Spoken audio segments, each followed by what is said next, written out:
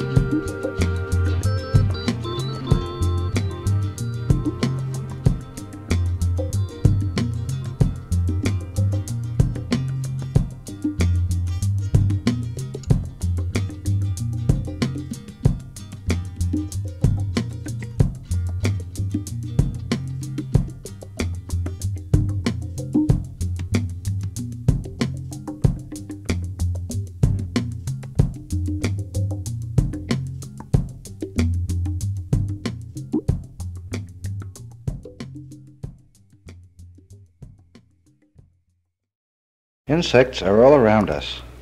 They produce many sounds at many frequencies and volume levels. We are so accustomed to hearing insect sounds that we seldom listen to them. Crickets produce their chirps by rubbing their wings together. Rough spots on the cricket's wings produce the chirping vibrations which we hear.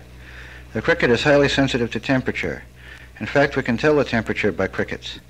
Count the number of chirps in 15 seconds and add 40. The result is very close to the temperature on the Fahrenheit thermometer. Listen.